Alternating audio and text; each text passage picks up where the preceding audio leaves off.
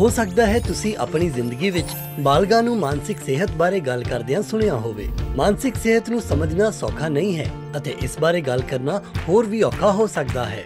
ਅਸਲ ਵਿੱਚ ਮਾਨਸਿਕ ਸਿਹਤ ਇਸ ਚੀਜ਼ ਬਾਰੇ ਹੈ ਕਿ ਤੁਸੀਂ ਆਪਣੇ ਅਤੇ ਆਪਣੇ ਆਲੇ ਦੁਆਲੇ ਦੀ ਦੁਨੀਆ ਬਾਰੇ ਕਿਵੇਂ ਸੋਚਦੇ ਹੋ ਅਤੇ ਕਿਵੇਂ ਮਹਿਸੂਸ ਕਰਦੇ ਹੋ? ਇਹ ਸੋਚਾਂ ਅਤੇ ਭਾਵਨਾਵਾਂ ਚੰਗੀਆਂ ਹੋ ਸਕਦੀਆਂ ਹਨ, ਬੁਰੀਆਂ ਹੋ ਸਕਦੀਆਂ ਹਨ ਜਾਂ ਵਿੱਚ ਵਿਚਾਲੇ ਦੀਆਂ ਹੋ ਸਕਦੀਆਂ ਹਨ। ਜਦੋਂ ਨਾਮੁਖੀ ਵਿਚਾਰ ਅਤੇ ਭਾਵਨਾਵਾਂ ਇਕੱਠੀਆਂ ਹੋਣੀਆਂ ਸ਼ੁਰੂ ਹੋ ਜਾਣ, ਤਾਂ ਇਹ ਤੁਹਾਡੇ ਵਿਚਾਰਾਂ, ਰਹੂ ਅਤੇ ਵਤੀਰੇ ਨੂੰ ਪ੍ਰਭਾਵਿਤ ਕਰ ਸਕਦੀਆਂ ਹਨ। ਉਦੋਂ ਤੁਸੀਂ ਜਾਣ ਜਾਂਦੇ ਹੋ ਕਿ ਤੁਹਾਡੀ ਮਾਨਸਿਕ ਸਿਹਤ ਨੂੰ ਕੁਝ ਧਿਆਨ ਦੀ ਲੋੜ ਹੈ। ਤੁਹਾਡੀ ਲੱਤ ਟੁੱਟਣ ਤੇ ਜਿਸ ਤਰ੍ਹਾਂ ਤੁਹਾਨੂੰ ਫੋੜੀਆਂ ਦੀ ਲੋੜ ਹੁੰਦੀ ਹੈ, ਉਸੇ ਤਰ੍ਹਾਂ ਕਦੇ-ਕਦੇ ਤੁਹਾਡੇ ਦਿਮਾਗ ਨੂੰ ਵੀ ਵਾਧੂ ਸਹਾਇਤਾ ਦੀ ਲੋੜ ਹੁੰਦੀ ਹੈ। ਅਖੀਰ ਨੂੰ ਇਹ ਤੁਹਾਡੇ ਸਰੀਰ ਦਾ ਇੱਕ ਮਹੱਤਵਪੂਰਨ ਹਿੱਸਾ ਹੈ। ਕਿ ਤੁਸੀਂ ਦੁਨੀਆ ਵਿੱਚ ਵਾਪਰ ਰਹੀ ਕਿਸੇ ਚੀਜ਼ ਬਾਰੇ ਘਬਰਾਏ ਹੋਏ ਹੋ?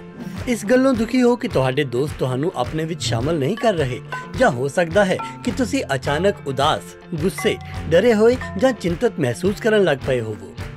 ਸ਼ਾਇਦ ਤੁਸੀਂ ਬੁਰਾ ਵਰਤਾਓ ਕਰ ਰਹੇ ਹੋਵੋ। ਜਾਂ ਤੁਹਾਨੂੰ ਧਿਆਨ ਕੇਂਦਰਿਤ ਕਰਨ ਵਿੱਚ ਮੁਸ਼ਕਿਲ ਆ ਰਹੀ ਹੋਵੇ। ਜਦੋਂ ਕੁਝ ਲੋਕਾਂ ਦੀ ਮਾਨਸਿਕ ਸਿਹਤ ਖਰਾਬ ਹੋਵੇ, ਤਾਂ ਉਹਨਾਂ ਦੇ ਸਿਰ ਵਿੱਚ ਜਾਂ ਢਿੱਡ ਵਿੱਚ ਦਰਦ ਹੁੰਦਾ ਹੈ, ਜਾਂ ਉਹ ਬਹੁਤ ਥੱਕੇ ਮਹਿਸੂਸ ਕਰਦੇ ਹਨ।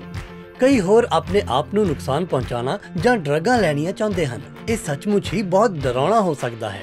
ਪਰ ਯਾਦ ਰੱਖੋ, ਠੀਕ ਮਹਿਸੂਸ ਨਾ ਕਰਨਾ ਅਤੇ ਇਸ ਸਮੇਂ ਕਿਸੇ ਤੋਂ ਮਦਦ ਮੰਗਣਾ ਓਕੇ ਹੈ। ਤੁਸੀਂ ਕਦੇ ਵੀ ਇਕੱਲੇ ਨਹੀਂ ਹੋ। ਤੁਹਾਡੇ ਘੇਰੇ ਵਿੱਚ ਬਹੁਤ ਸਾਰੇ ਲੋਕ ਹਨ ਜੋ ਤੁਹਾਡੇ ਬਾਰੇ ਫਿਕਰ ਕਰਦੇ ਹਨ। ਘਰ ਵਿੱਚ, ਸਕੂਲ ਵਿਖੇ ਅਤੇ ਤੁਹਾਡੀ ਕਮਿਊਨਿਟੀ ਵਿੱਚ।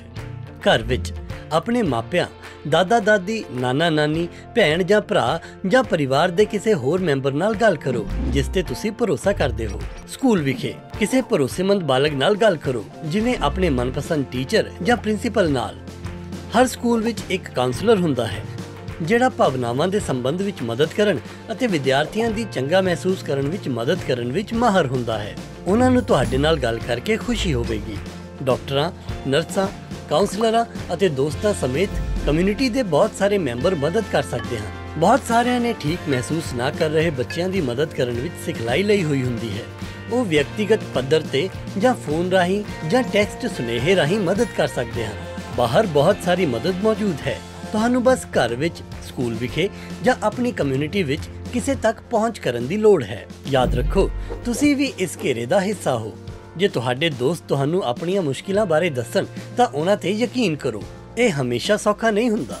ਉਹਨਾਂ ਨੂੰ ਦੱਸੋ ਕਿ ਉਹਨਾਂ ਦੀਆਂ ਭਾਵਨਾਵਾਂ ਨਾਰਮਲ ਹਨ ਅਤੇ ਉਹਨਾਂ ਲਈ ਮਦਦ ਮੌਜੂਦ ਹੈ। ਭਰੋਸਾ ਮਹੱਤਵਪੂਰਨ ਹੈ ਕਿਉਂਕਿ ਇਹ ਉਹਨਾਂ ਨੂੰ ਗੱਲ ਕਰਨ ਲਈ ਸੁਰੱਖਿਅਤ ਮਹਿਸੂਸ ਕਰਵਾਉਂਦਾ ਹੈ। ਕੋਈ ਨਿਰਣਾ ਕੀਤੇ ਬਿਨਾ ਉਹਨਾਂ ਦੀ ਗੱਲ ਸੁਣੋ ਅਤੇ ਉਹਨਾਂ ਦਾ ਸਮਰਥਨ ਕਰੋ, ਤਾਂ ਕਿ ਤੁਹਾਡੇ ਦੋਸਤ ਮਹਿਸੂਸ ਕਰਨ ਕਿ ਕਿਸੇ ਨੇ ਉਹਨਾਂ ਦੀ ਗੱਲ ਸੁਣੀ ਹੈ ਅਤੇ ਉਹਨਾਂ ਨੂੰ ਪ੍ਰਵਾਨ ਕੀਤਾ ਹੈ। ਜੇ ਹੋਰ ਸਹਾਇਤਾ ਦੀ ਲੋੜ ਹੋਵੇ, ਤਾਂ ਤੁਸੀਂ ਇੱਕ ਦੂਸਰੇ ਦੇ ਸਕੂਲ ਵਿਖੇ ਅਤੇ ਆਪਣੀ ਕਮਿਊਨਿਟੀ ਵਿੱਚ ਵਸੀਲਿਆਂ ਅਤੇ ਕਾਉਂਸਲਿੰਗ ਨਾਲ ਜੁੜਨ ਵਿੱਚ ਮਦਦ ਕਰ ਸਕਦੇ ਹੋ। ਤੁਹਾਨੂੰ ਇਸ ਨਾਲ ਇਕੱਲਿਆਂ ਹੀ ਨਿਪਟਣ ਦੀ ਲੋੜ ਨਹੀਂ ਹੈ। ਆਓ, ਆਪਾਂ ਆਪਣਾ ਅਤੇ ਇੱਕ ਦੂਜੇ ਦਾ ਖਿਆਲ ਰੱਖੀਏ।